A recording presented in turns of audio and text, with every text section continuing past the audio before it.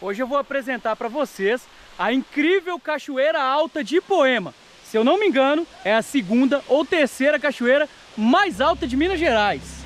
Nesse vídeo, vou mostrar para vocês como é a área aqui onde fica a cachoeira, a trilha para poder acessar ela, inclusive vou fazer um rapel nela e mostrar para você que gosta de fazer rapel como que é descer essa cachoeira de 110 metros de altura. Além disso, vou mostrar para vocês incríveis imagens da minha GoPro, imagens de drone, para você poder vivenciar em primeira mão o que é um rapel e o que é a grandiosidade da Cachoeira Alta de Ipoema.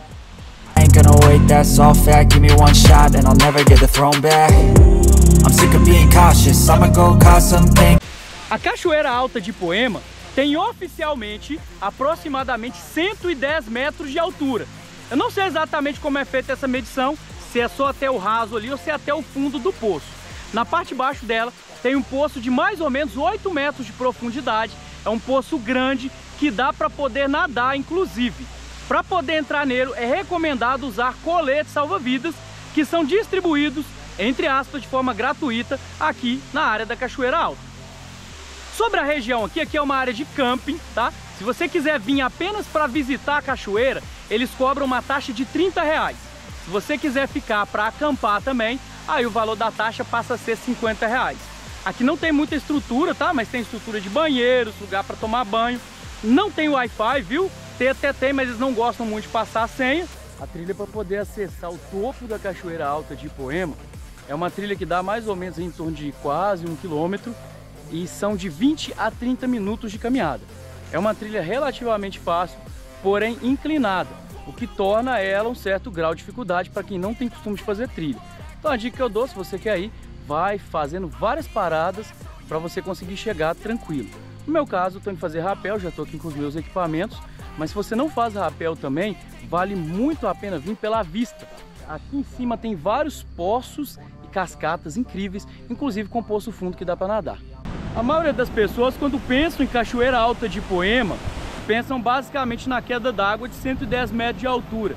Mas aqui em cima da cachoeira, se você continuar subindo, do ponto de vista de quando você vem virar para a direita, tem outras cachoeiras em cima, com poços incríveis para poder nadar. Se você continuar subindo pela outra trilha que tem lá em cima também virando à direita, você está em outra queda d'água lá em cima.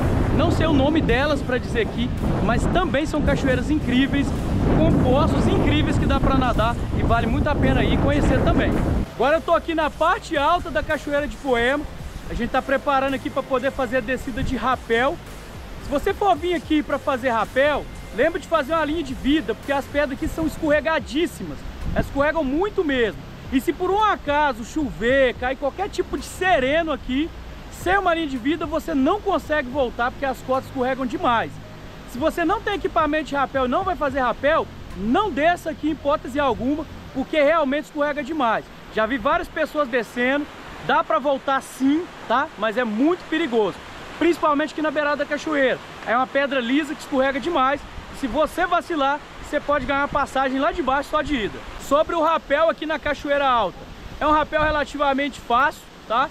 A questão de técnica de rapel não precisa saber muita coisa, mas tem alguns poréns. Lá embaixo tem muitas pedras cobertas de lodo que você vai precisar obrigatoriamente passar por elas. Então elas são extremamente escorregadias. Você precisa tomar cuidado para não escorregar, cair, bater um braço, uma perna, uma costela, alguma parte do seu corpo, que isso pode acabar acarretando uma lesão grave. Além disso, boa parte das pedras tem vários buracos, algumas delas com a água da cachoeira passando por cima. Então se você for desatento ou desatenta enfiar o pé em um desses buracos, você pode torcer o seu pé, se você não estiver preparado. Além disso, você pode quebrar a canela, o tornozelo e aí se inserir uma lesão grave que precisaria inclusive de um resgate para poder te tirar de lá. Tirando isso, é um rapel super tranquilo. A outra coisa que torna ele um pouco difícil, o sistema de rapel, ele te freia com a tensão da corda no seu equipamento de freio. Quando a corda é tensionada, o equipamento te freia. Imagina só, 110 metros de corda para baixo, com a água puxando elas para baixo. Isso tem um peso. Então essa corda vai estar tensionando seu equipamento e você vai ficar freado. Dependendo da bitola da corda ou da, né, da espessura da corda, quanto mais grossa sua corda, maior vai ser a dificuldade para você descer Então se você soltar as mãos aqui em cima, não estou recomendando ninguém fazer isso, viu? Antes que alguém venha aqui comentar, falar que não pode. Se você soltar as mãos, provavelmente você vai ficar preso. Então recomendável é que você desça com a corda de 10 milímetros ou 10,5, que você vai fazer bem menos esforço para poder puxar a corda ou pagar a corda, como a gente costuma dizer, para você conseguir fazer a descida. Tirando isso, é um rapel muito tranquilo, uma vista fabulosa daqui de cima, vale muito a pena você ter essa experiência pelo menos uma vez na sua vida.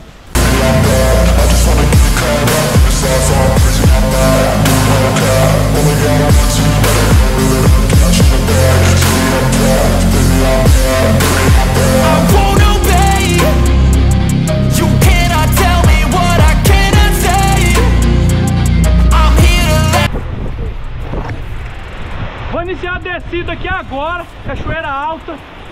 Dizem que tem 110 metros de altura. Vou mostrar pra vocês como é a vista e como é a saída daqui, como que é incrível. Bora lá! Baby, I'm bad I just wanna get caught up in this life I'm crazy, I'm mad Do it, no cap Only got one, so you better go live it up Cash in the bag, stadium packed Baby, I'm bad Baby,